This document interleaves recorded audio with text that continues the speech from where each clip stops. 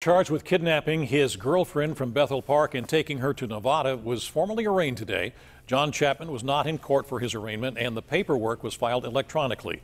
Chapman is the prime suspect in the death of Jaime Feden, whose body was found in the Nevada desert. So far, though, he is only facing kidnapping and related charges. His next court date will be in February.